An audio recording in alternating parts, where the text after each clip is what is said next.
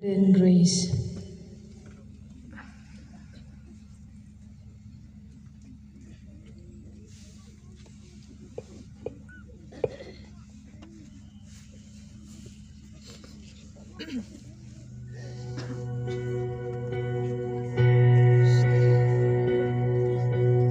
What do you say to someone who feels like they've lost it all?